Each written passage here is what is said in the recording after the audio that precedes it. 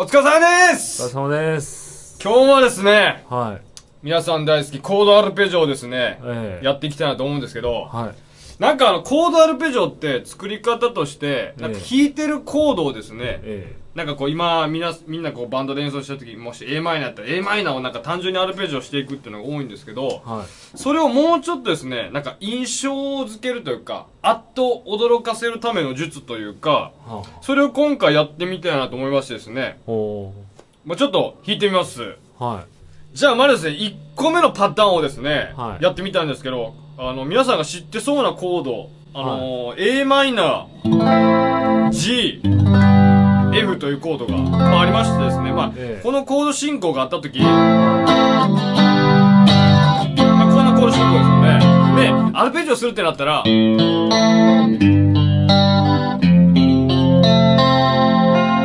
これでも別にいいんですよ、全然。はい。あの、僕も使ったりするんですけど、はい。まあ、もうちょっとこう、これを使いすぎてですね、はい。なんかないんかってなった時に、はちょっと個性的な、あ。の、パターンがありましてですね、はトップノートとか、比較的その、音を固定したアルペジオに変えてしまうというか、まあ、ちょっとあの、行動的にですね、a マイナーをですね、a マイナーなんかナインス、こんな感じのコードにします。で、次 G なんで、丸々こう行くんですけど、じゃなくて、この5弦のルートをですね、まんま、えー6弦の3フレットの G に変えてしまうんですよね。なので、指の動きがこれだけなんですよ。みたいな、さっきう。の、で、多分ね、音の変化がちょっと大きくてはい、人が記憶しにくいというか、でもこの場合って、トだけの移動なので、なんか覚えやすいんですよね。メロディーみたいな感じで。ね、もちろんその、歌のラインと、あの、当たる場合とかももちろんありますし、それはちょっと考慮していただいて、まあ考えながら、あ、このパターンを使えるんだな、みたいな。ね、F に行くときに、はい。ここを残したまま F に行くのってちょっとしんどいんですよね。ええなので、こういって、トップノートだけ固定するんですよね。この 2,、え2弦の1フレットを固定した状態で、っていくと、一応印象的にその同じ音を弾いてるような感じになるというか、トップが変わるとちょっとね、あの印象も変わるので、今トップを変えたんですけど、これでも全然大丈夫ですので、そこはもうお好みで。で僕は、ちょっとまあ固定するかなっていう使い方をするんですけど。これちょっとディレイかけたりすると、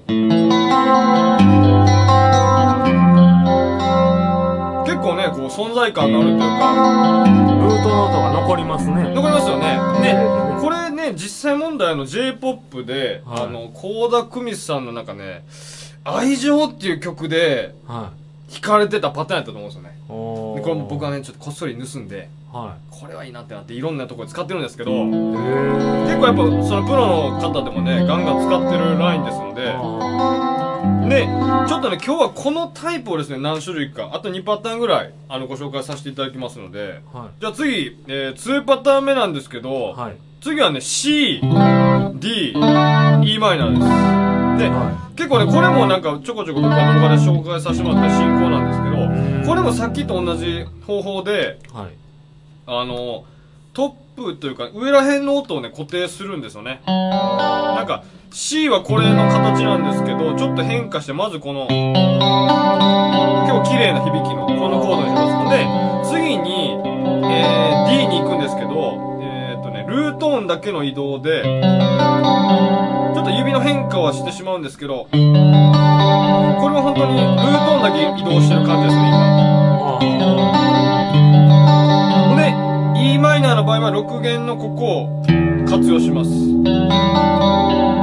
ってなると、さっきの移動で弾いてると、こ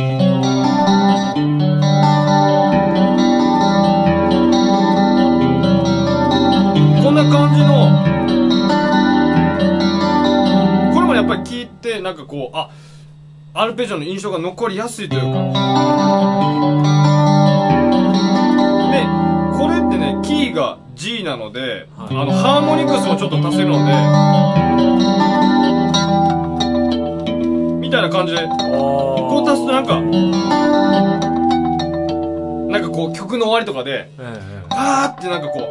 う、なんかこう幻想的なね、ええもう妖精が、ふわーみたいな感じの、まあ、みたいな感じにね、はなりますので、い。このパターンもおすすめです。まあ、ちょっと変化させてもいいですね。全然このまんまじゃなくて、ちょっと、あの、一元の解放を使ったりとか、変化もできますので、ちょっとこれはあの応用編ですけど、ええ。じゃあもう一パターンちょっと行ってみましょうか。はい。じゃあ次はですね、はい。えー E F シャープ G シャープですね。マイナー。G シャープマイナーのコード進行変化するんですけど、はい。あの印象付けたい部分がですねこの4弦の4と3弦の3とあと、え2弦開放ですね。この3つの音。ここを印象付けるとですね結構なんかこうさっきみたいな感じであっと驚くというかうんで、ここプラス、まず開放の E ですよね。もうこの段階で E コードですね。なんかで次に、えー F シャープを足してですね。まあ、全然、あの指ほとんど動かしてないです。これ開放で、で、次、2フレットみたいな。あこれ次がですね、この、えーちょっと指の色がかあの加わりますけど、さっきの部分は固定しております。で、これで G シャープ弾いて、で、ちょっとね、僕癖でに、えごめんなさい、1弦の2フレット足してしまいますね。この、こんなコードですね。これを結構ね、対応しております、この。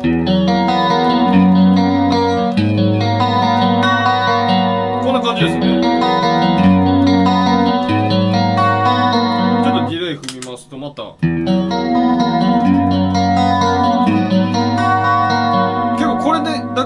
なんか、イントロいけそうな、雰囲気の、アルペジオが出来上がると。でうん、この他にも、なんかあのー別にこのパターンだけに限らず、えートップノートとか、そういうちょっと、強調したい音程を残しながら、ルートだけ移動するっていうやり方は、結構あるので、皆さんでこうなんか、探してみてもいいかもしれないですね。ここれを元になんか、あ、俺あんまそれ好きじゃないから、これやってみようかみたいな感じで、もうアルペジオサークルが出来上がるぐらいの、